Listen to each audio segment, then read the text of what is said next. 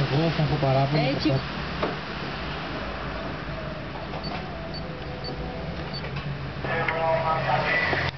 Και όλα αυτά Στην ευκαιρία ο κ. Σαμαράς το μεσημέρι. Να του πει με επιρροές τόσο από τις αυτόχθονες παραδόσεις της αχανούς αυτής της χώρας, όσο και από τον πολιτισμό της ΑΣΥΡ